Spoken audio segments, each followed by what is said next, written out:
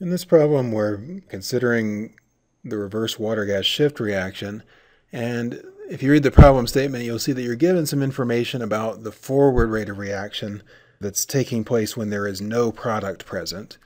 And eventually we're asked to determine the initial rate of reaction for the reverse water-gas shift reaction when there is no CO or water present in that case.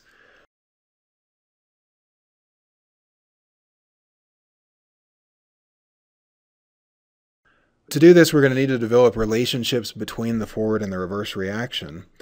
Um, I'm going to go ahead and simplify this reaction of CO plus water to make CO2 and hydrogen, and we will just call it an A plus B going to C plus D reaction. Based on the given information, we're told what the form of the forward reaction is, and it is first order in both components A and B. We could write it in terms of the concentration of components A and B. I'll write it in terms of the partial pressures, which are really equivalent. We can convert between pressure and concentration, just dividing the pressure by RT, assuming ideal gas behavior, which is a good assumption under these conditions of, of low pressure. And we're given in this problem the rate of CO consumption under the case where we only have to worry about this forward reaction. So I'm going to designate this as being just the forward reaction. All right, and that rate is equal to 0.50 moles per minute gram of catalyst.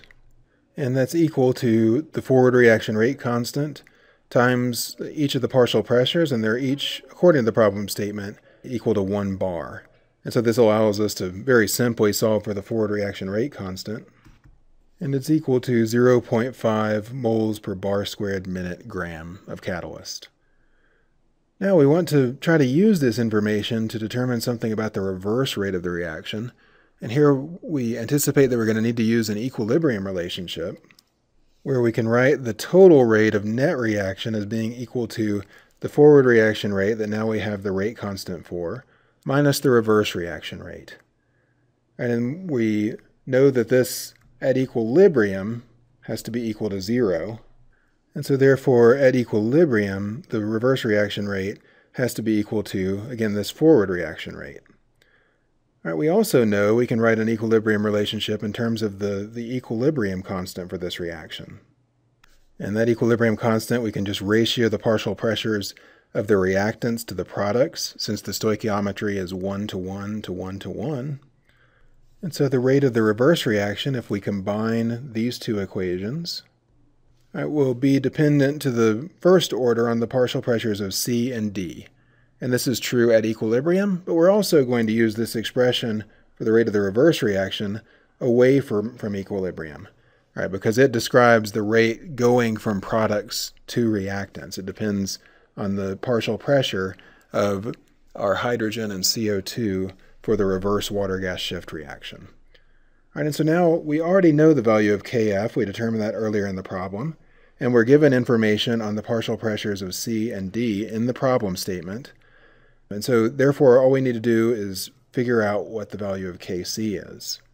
And Kc for an ideal gas and for a case where you have equal number of moles on the reactants and products as we do in this case, Kc we can show is just equal to the equilibrium constant that's based on ratios of activities instead of concentrations. And so that Kc is equal to the exponential of the negative of the Gibbs free energy change of reaction divided by RT. Now we're given data on this typically at 298 Kelvin if you look in various reference sources. And so we'll first compute this equilibrium constant at 298 Kelvin, even though the reaction conditions are at higher temperature. And so then we'll need to correct for the fact that the temperature is not 298 Kelvin. And I should point out here that earlier in the problem statement, I probably should have defined our equilibrium constant initially as being the pressure-based equilibrium constant, since I'm working with partial pressures. But as I mentioned earlier in the problem statement, Kp and Kc are basically equivalent here because we're dealing with ideal gases and with the same number of moles on the reactant and product side. You can show that Kp is equal to Kc. All right, so let's evaluate K at 298 Kelvin. So when we evaluate this equilibrium constant, we get the exponential, the negative of the Gibbs free energy of the products minus reactants. The Gibbs free energy of formation of hydrogen is zero since it's in its uh, elemental state. And then in the denominator, we simply divide by RT, where again we have to use the, the temperature of 298 Kelvin. And the reason we have to do that is that these experimentally measured Gibbs free energies of formation were also measured at 298 Kelvin. And so we have to use that same temperature here. Right, if we solve for the value of this equilibrium constant at 298 Kelvin, we get a value around 103,000. Now, of course, we want to solve for the equilibrium constant at the higher temperature, the actual reaction temperature in this case, of 600 Kelvin. And so to do that, we'll have to use the Van't Hoff relationship. The Van't Hoff relationship uses the heat of reaction, the enthalpy of reaction. I'm expressing this in terms of the negative enthalpy of reaction that we're going to use in the expression. And so that's going to be the enthalpy of the products, the negative of it. Again, the product hydrogen has a heat and enthalpy of formation of zero because it's in its elemental state. And then we subtract off the energy of the reactants. Again, we can look up in the back of a thermo book to give us an overall negative heat of reaction of around 41 kilojoules per mole. So in other words, since the negative heat of reaction is positive, it's an exothermic reaction, and so we're going to expect this value of the equilibrium constant to decrease as we increase the temperature. Now we can write up the Van't Hoff relation for the K at, a value of 600 Kelvin, and it's equal to K at 298 times this exponential term where we're taking the reciprocal temperature difference between our two conditions. All right, what this Van't Hoff equation assumes is that the heat of reaction is approximately constant over the temperature range between 298 Kelvin and 600 Kelvin, which turns out to be a reasonable assumption in this case. You can use a more complex form involving the heat capacities of the, the different gases for more accuracy, as we'll see in a, a future screencast. We've already solved for the value of K298 Kelvin above. We've already solved for the negative heat of reaction that we can plug in.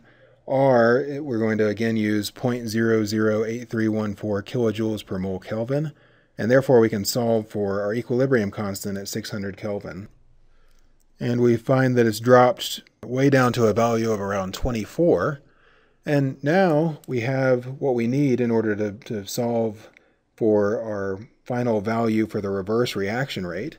So remember, the only thing we were missing was this value of Kc and now we have it. So if we just plug in the necessary values according to the problem statement, we get the following expression for the reverse reaction rate, where we again plug in our K forward, our equilibrium constant, and then the partial pressures of, of CO2 and hydrogen that are given to be 2 bar and half a bar, and ultimately solve for the initial rate of the reverse reaction under those conditions of being around 0.02 moles per minute.